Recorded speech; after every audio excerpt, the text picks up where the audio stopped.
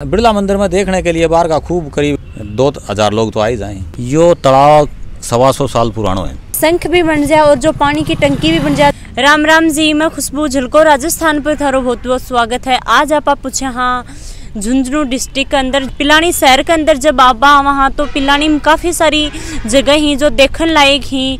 तो आज आप पिलानी शहर के अंदर पूछा जहाँ जो पंचवटी है पंचवटी के पास में ही बहुत बड़ी एक शिव जी की मूर्ति है जो काफ़ी सारा लोग ही टूरिस्ट ही वह घूमने आवे ही तो पंचवटी और जो पास में जो मूर्ति है शिव जी की और जो शिव जी मूर्ति के पास में ही मंदिर है तो अड़े आवी और दर्शन करी तो जो शिव जी की मूर्ति है बड़े आपा आया हाँ। यो तालाब सवा सौ साल पुरानो है। तालाब। हाँ बिरला जी को बनवाएड़ो है। और बिरला जी के द्वारा यह मूर्ति बाद में कई दिन से खाली पड़ियो हूँ। जो देखें पिलानी की सुंदरता बन जा ए के लिए आनिया जानिया देखें। जी। शाम के टाइम में घूमें सुबह शाम। बन के देखने के लिए शिव जी की मूर्ति बनाई गई है। है ना बनावनी कारीगर अठाई को है और बिरला जी बनवाई है सुदर्शन कुमार जी बिरला नाम है उनको। तो मूर्ति है या क्या की बनेड़ी है? या लोहे की बनी बड़ी है सीमेंट सरिया बजरी और कई साल हो गई मूर्ति या बनाए 2011 में बनाई गई थी। 2011 में बनाई गई। और अरे यो मंदिर बनाया गया है यो राम मंदिर है। यो मंदिर को बनाने को क्या उद्देश्य हो? या जो जगह खाली पड़ी हुई थी है ना ये बिरला जी राम मंदिर बनवाए थे जी।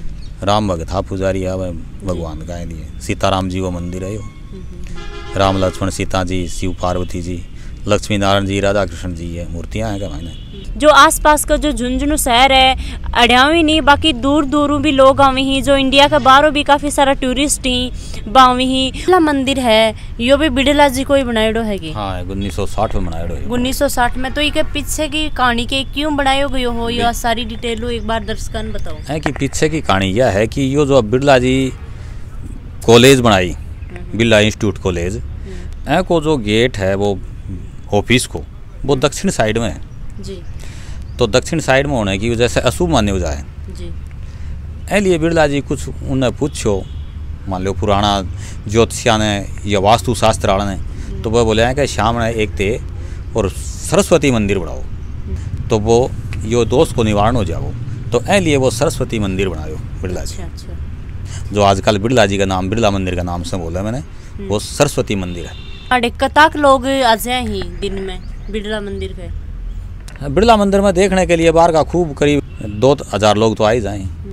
और बिड़ला मंदिर में कुछ देखने लायक के के ही बस सरस्वती मंदिर है माता सरस्वती माता की मूर्ति है बाकी वो सफ़ेद संगमरमर के पत्थर को बनेड़ो है। आजकल तो बहुत महंगो है उस टाइम तो मान लो कम रेट में बनेड़ो है। जी। और जैन की बात करें बिड़ला जी जब यो मंदिर बनायो हो तो जैन की अब कोई पूजा पाठ है पुजारी भी रहेगी? हाँ उठे पूजा पाठ हुआ है दोनों टाइम भजन कीर्तन हुए सारा प्रोग्राम हुए पिलानी शहर की कि जो बिड़ला जी है वह पिलानी शहर का ही बताया हाँ हमारी सुनेरी पिलानी बात है। रहने वाला था यो पिलानी उनको गाँव है। और जो पिलानी शहर ने चमकाने को बस बई बस वो बिरला जी कोई सारो हाथ है। कि अंकल जी यह बिड़ला कॉलेज है या पूरा इंडिया में प्रसिद्ध है कि दूर दूर का लोग ही बड़ी पढ़न खातर आवी क्यों प्रसिद्ध है? या इंडिया में तो कि पूरे वर्ल्ड में फ़ेमस है। अपने वर्ल्ड के अंदर चार इंजीनियरिंग कॉलेज बताओ ये। हम्म, एक तो या पिलानी के अंदर है और दूसरी चंडीगढ़ में है हम्म, और एक गोवा में है और एक दुबई में है। ये चार हैं। तो अण से जो बच्चा पढ़ के जो जा हैं वह अमेरिका जा ही अच्छी अच्छी बढ़िया बढ़िया पैकेज दी और वह अमेरिका वाला ले जाए उन्हें। जो बिड़ला जी हाँ बाको मैंने उद्देश्य यो यो बनाने को कि मैं कुछ ई टाइप में बनाऊँ कि शंख भी बन जाए और जो पानी की टंकी भी बन जाए, जो लोग हैं आसपास का बावी वह पानी पी की बान राहत मिल जाए तो यो शंख बनाए और शंख में टंकी बना दी। तो इस शंख में काफ़ी ठंडो पानी रहे कि जिया फ्रिज में पानी रिया करे भैया इस शंख के अंदर ही ठंडो पानी रहे। जो छोटी सी शिवलिंग है और इजा जो ऊपर ही थे देख रहे हो कि पानी भी टप टप एक और बूंद टपक रहे है। सामने ही देख रहे हो कि राधा कृष्णा की ये काफ़ी सुंदर मूर्ति है जो तो जो का पंडित जी ही हैं आप बातचीत करांगा। राम राम जी। राम राम जी। तो थाने का एक साल होगी गई जब पूजा पाठ करता। जी मुझे यहाँ आठ साल हो गए पिलानी में भगवान श्री रामचंद्र जी की सेवा करते हुए। जी। और ये धार्मिक स्थान बड़ा ही पावन है।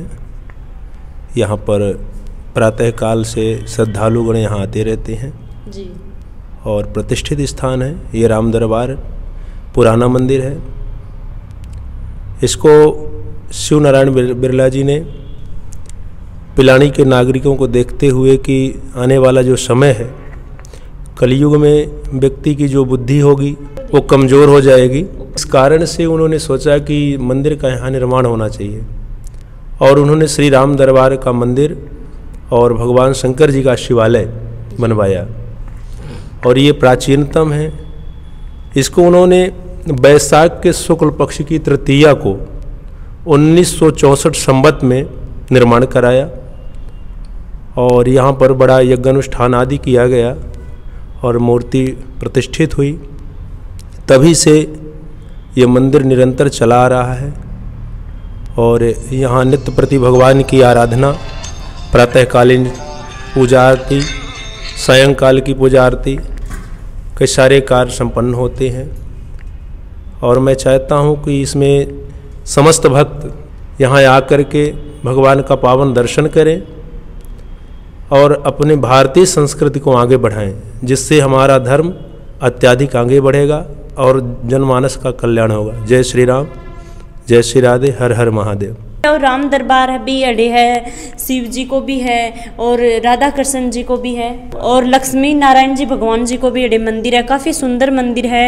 अड़े वहाँ तो काफ़ी शांति है और मन खुश हो जाए, काफ़ी अच्छो लगा है। यो वीडियो थान का शौक लगो कमेंट बॉक्स में कमेंट करके ज़रूर बताओ। वीडियो है, लाइक करो, शेयर करो। चैनल अभी तक सब्सक्राइब नहीं करो है तो सब्सक्राइब ज़रूर कर लो और पास में ही जो घंटी है बिन भी दबा लो।